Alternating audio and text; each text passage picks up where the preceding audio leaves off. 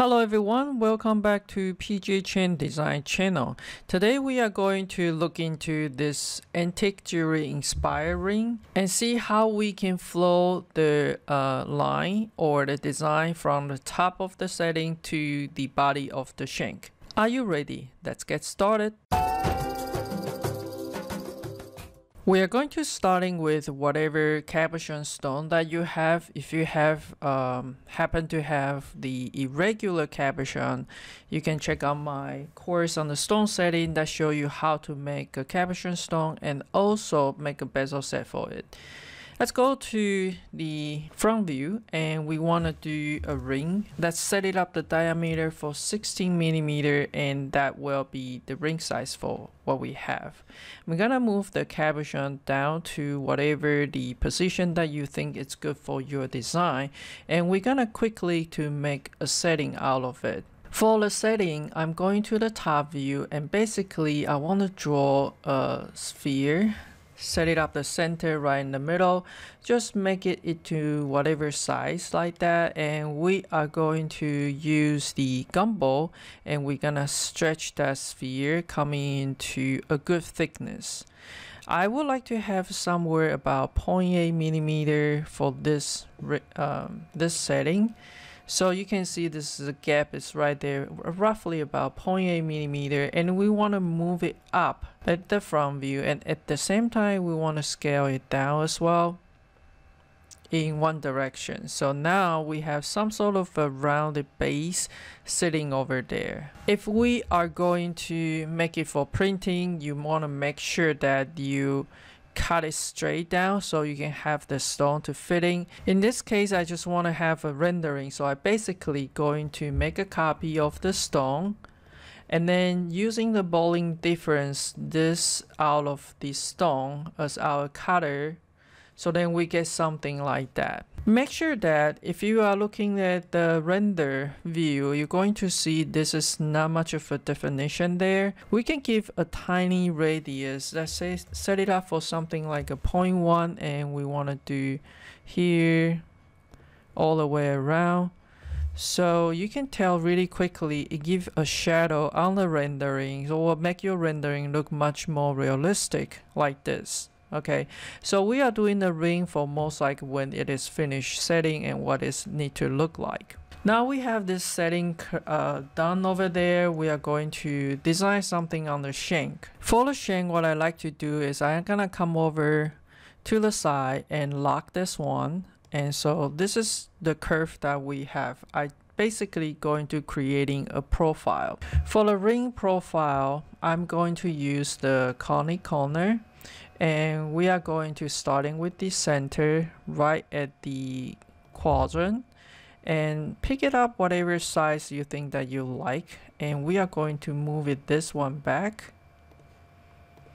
to the top. We just need to make sure it's not hanging anywhere outside. So let me go ahead to rebuild this curve.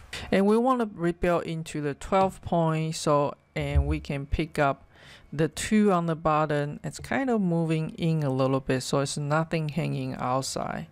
If this is the shape that you like that's okay. If it is not we can always add it into the ideal shape that you like so now we have that one. We can simply have that one mirror to the bottom. And from there, we can edit a little bit more. Maybe you do not want it to be so wide. You want it tapered down. So we're going to bring down something like this. So let's go ahead with the sweep one rail. We're going to click this is the rail. This is the curve section. Make sure the arrow is aligned and facing the same direction and we also want to close the sweep. Make sure you record history as well so we can change it later. Now, if you look at this one, you feel like this is too much of a dip over there. You want to have this one a little bit taller. We can come over here and use the 1D scale. And we want to scale this up, for example, like this and the, the foam will follow it uh, to whatever the position that you like. And also it might be too thick, so I want to scale it down a little bit to make it more elegant. So same thing on the bottom, it's going to be like that. Okay, so now everything is set. We are going to design those um, wire foam on the shank. So first I like to do is to extract the iso curve. We want to extract some iso curve. Uh, one is right in the middle and we want to have a couple more. So one is going to be somewhere about here and one is going to be somewhere about there. And we are going to unlock this one. Let me do the same thing. We're going to extract an iso curve. We're going to extract the iso curve. The first one is going to be here. The second one's right in the middle. The third one's a little bit on the bottom. And you can always, you know, adjust it later on if the gap is not exactly what you like. This is all the curve that we have here. So I'm gonna come over to the right view and kind of give a, a good guess about where's the area I'm going to trim. So let me turn off the object and just have this is easier to see. So what I like to do is using this circle to trim off any of the area right in the middle. Okay, so we don't need that as well. So this is what we have left. Um, we are going to use the command, it's called blend. So you're going to blend from here to here. And you're going to blend from here to here. And you're going to blend from here to here. Alright, so now we have all those curves. Let's go ahead to join all of them. Okay, so this is the curve that we have. We don't need to have anything pass to the middle. So I'm going to draw a straight line because we're gonna mirror it later. Uh, so with this one, we're going to trim this off. To make it even better, uh, what we would like to do is actually rebuild all those three curves into something is not changing the foam too much. So let's turn on the ring that we have and see how much it is attached to this area. Let's go ahead to pipe it. Uh, we want we don't want to have any cap, so the cap is equal not uh, the cap is equal none, and the thickness I would like to keep it as a radius 0.5 and see what happened. So now we have these things right there. Look like my ring is a little bit too fat for it. Um, so in that case, I might need to like start over uh, to make it less fatty. So once we have finished that, we also need to finish the bottom of the ring shank. So I will, if you like the result, you're gonna extract the iso curve again on this surface and you wanna make sure that you uh, endpoint is touching those endpoints so you can have something like this.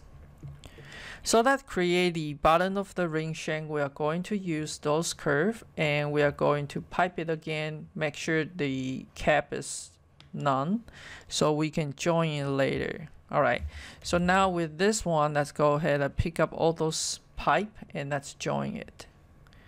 If everything look good to you, you go to the top view and you want to go mirror the image to the other side and the same time we pick up all six of them and mirror to the other side as well.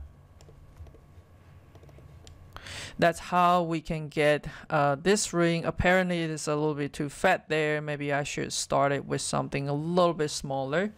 And with a little bit decoration with the bee uh, or you can set the stone. This is antique inspired cabochon ring. I hope you enjoy the video. Please like and comment and don't forget to subscribe it with the little bell is on so that will thank you for watching. I'll see you next.